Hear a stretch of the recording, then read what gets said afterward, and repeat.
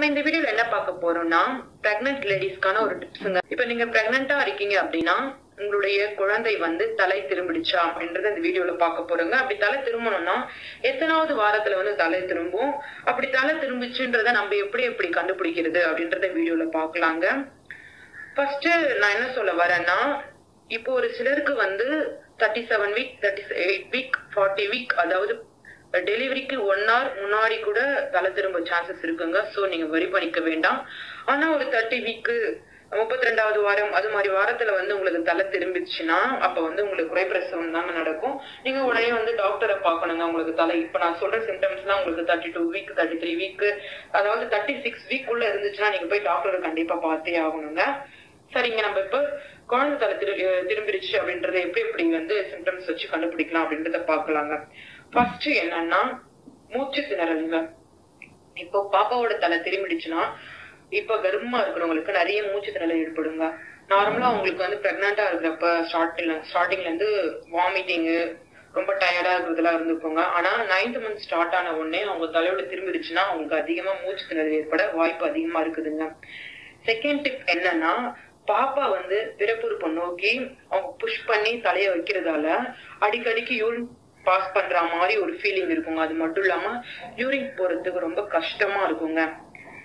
அதான் அவங்க வந்து பிறப்புறுப்பை வந்து புஷ் பண்ணுவாங்க. அந்த கர்ப்பப்பையில இருந்து அவங்க தலைகீழ திரும்புறப்போ அந்த புஷ் பண்றப்போ உங்க அந்த பிறப்புறுப்புல ஒரு வலி ஏற்படுங்க. அந்த வலி ஏற்படுறப்போ யூரின் வந்து போறதுக்கு ரொம்ப கஷ்டமா இருக்கும். அப்படி இருந்தா பாப்பா வந்து தலை திரும்பிடுச்சுன்னு அர்த்தங்க.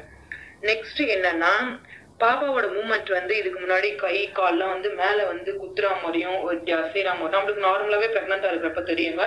இந்த சைட்ல வந்து பேபி மூமெண்ட் இருக்கும் லெஃப்ட் சைட்ல இருக்கும் ரைட் சைடு ஏதாச்சும் ஒரு சைட்ல வந்து பேபியோட ஃபிங்கர்ஸ் கிக் பண்ற மாதிரியும் பாப்பாவோட கால் வந்து கிக் பண்ற மாதிரியும் பாப்பாவோட ரவுண்டா தலை வந்து உதைக்கிற மாதிரி நம்ம ஃபீல் பண்ணுவோம். ஆனா உங்களுக்கு பாப்பா வந்து தலை திரும்பிடுச்சு அப்படின்னா உங்களுக்கு வந்து பாப்பாவோட மூமெண்ட்டே அப்படியே இருக்காதுங்க.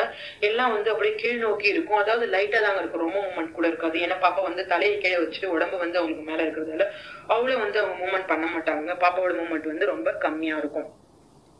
நெக்ஸ்ட் என்னன்னா உங்களுடைய நீங்க வந்து நார்மலா இதுக்கு முன்னாடி வயிறு வந்து நார்மலா வந்திருக்கோங்க உங்களுக்கு. உங்களுக்கு வந்து டெலிவரி டேட் ரொம்ப கிட்ட வந்துருச்சு. உங்களுக்கு பாப்பா வந்து தலை திரும்பிடுச்சு அப்படின்னா உங்களுடைய வயிற்று பகுதி வந்து ரொம்ப கீழ் நோக்கி அது அது வந்து சொல்லுவாங்க அடிவயிறு இறங்கிச்சு அப்படின்னு நிறைய பேர் சொல்லுவாங்க கேள்விப்பட்டிருக்கிறீங்களா நீங்க? அதான் அடிவயிறு ரொம்ப இறக்கமாயிருங்க ஏன்னா பாப்பாவோட தலை வந்து அந்த பிறப்புறுப்பு நோக்கி இருக்கிறதால அடி கால் கையில மேல இருக்குங்க தலை வந்து கீழே இருக்கிறதால நம்மளுடைய அடிவயிறு வந்து ரொம்ப கீழ் நோக்கி இருக்குங்க. அப்படி கீழ் நோக்கி இருக்கிறதால கர்ப்பவாய் வந்து ஈஸியா திறக்கிறதுக்கு இருக்குங்க.